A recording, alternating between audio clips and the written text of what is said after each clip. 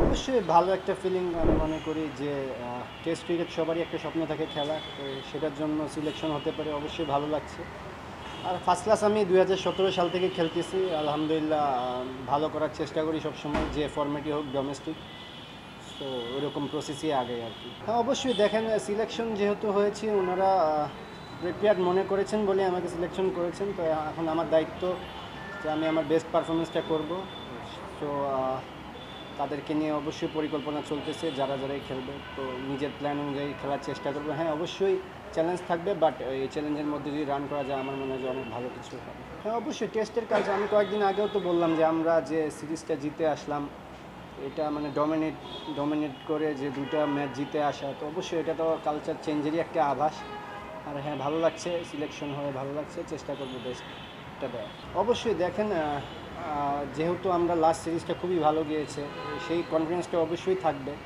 আমার কাছে মনে হয় যে এবছরও আমাদের চেষ্টা থাকবে যে আমরা যেন মানে যেটা কখনো আগে করতে পারিনি এজ এ টিম এটা করার চেষ্টা থাকবে। চ্যালেঞ্জ তো সব দিক দিয়েই থাকবে, তাদের ব্যাটিং লাইন আপও তো অনেক ভালো। দেখেন আমরা যদি অ্যাজ এ ব্যাটিং ইউনিট ভালো করতে পারি, দেখেন আমরা আমাদের লাস্ট দুইটা টেস্টে দেখেন আমরা সব কিছুতেই ভালো করেছি, বিশেষ করে ব্যাটিংটা কিন্তু ভালো ছিল। আমরা স্ট্রাগল করি ব্যাটিংয়েই ব্যাটিং ব্যাটিং যখন খারাপ হয় তখনই আমরা ম্যাচগুলো লুজ করে ফেলি। বল, বলাররা ম্যাক্সিমাম টাইম সাপোর্ট করে।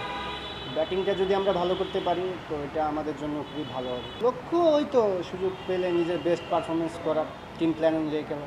প্রথমে আমি টি টোয়েন্টির টিমেরই প্র্যাকটিস ছিলাম, তারপরে তো ফর্ম্যাট আলাদা হলো, তো প্রিপারেশন আছে, দুই ফর্ম্যাটের জন্যই প্রিপারেশন রাখছি। তো এখন শুধু মাইন্ডসেটটা চেঞ্জ করতে হবে ফর ফর্ম্যাট অনুযায়ী। না, আসলে এগুলো নিয়ে চিন্তা করি না। যখন যেটা পাওয়ার সেটা পাবো ইনশাল্লাহ। সো আমার কাজ রান করে যাওয়া পারফরমেন্স করে যাওয়া হার্ডওয়ার্ক করে যাওয়া, ওগুলোর মধ্যেই ফোকাস দেখেন ফার্স্ট ক্লাস ক্রিকেট খুবই ইম্পর্ট্যান্ট আমাদের জন্য। আর আমার খুব কষ্ট লাগে, আমি কথাটা বলি যে, অনেকেই বলে যে, কি পিকনিক ক্রিকেট আমি লাস্টেও শুনলাম। আসলে এই জিনিসটা খুব কষ্ট লাগে। আমরা জানি আমরা কতটা কষ্ট করে খেলি। মানে অ্যাজ এ প্লেয়ার হিসাবে। সো প্লিজ আপনারা এই কথাগুলো বললেন না প্লিজ আমার, আমি এই- কথাটা, আমি খুব দুঃখ পাই আসলে। আমি দু হাজার সতেরো সাল থেকে খেলি ফার্স্ট ক্লাস ক্রিকেটে আমি জানি আমার কতটা কষ্ট হয়। এক একটা রান করতে আমার কতটা কষ্ট হয়েছে। সো সবার কাছে রিকোয়েস্ট থাকবে যে আমরা অনেক অ্যাজ এ প্লেয়ার হিসেবে আমরা সবাই অনেক কষ্ট করি। সো আরও কষ্ট করব ইনশাল্লাহ। আমাদের ফার্স্ট ক্লাস ক্রিকেটটা দিনকে দিন উন্নত হচ্ছে আরও হবে।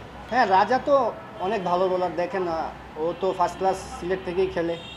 আমি সবসময় উইকেট কিপিং করি, ওর বলে। তো ও খুবই, আমার মনে হয় যে রেড বল ক্রিকেটের জন্য খুবই থ্রেড হতে পারে সামনের দিনগুলোয়। ও খুবই ভালো ছন্দে আছে, মাঝখানে ইঞ্জুরিতে ছিল। তো ওর জন্য শুভকামনা আমার কাছে মনে হয় খুবই তাড়াতাড়ি সামনের দিকে এগোতে পারবে। দেখেন এই যে লাস্ট কয়েকটা দিনও যে আমরা যে কাজ করলাম, সোহেল স্যার, বাবুল স্যার, ওনারা অনেক পর- পরিশ্রম করছেন, ওনারা ডাবল শিফটে কাজ করছেন। সকালবেলা আমাদের রেড বল ক্রিকেট দেখছেন, বিকেলবেলা হোয়াইট বল ক্রিকেট দেখছেন। তো ওনারা কী পরিমাণ কষ্ট করছেন মাঠের মধ্যে তো আপনারা বুঝেন। তো অবশ্যই মানে ডোমেস্টিক কোচদের অবদান আসলে থ্যাঙ্কসলেস বলা যায়। ওনাদেরকে এত হাইলাইট করা হয় না। এখন আসলে নাম ধরে বলতে গেলে আমি বলব যে আমার সবারই অবদান আছে। প্রত্যেকটা কোচের সাথে আমার কাজ করা হয়েছে। সবাই অনেক আসলে আমাদের ছোটোবেলা থেকে জানে, চিনে, আমাদের খুঁটিনাটি বিষয়গুলো সব কিছু জানে। তো ওনাদের সাথে খুব ফ্রিলি কাজ করা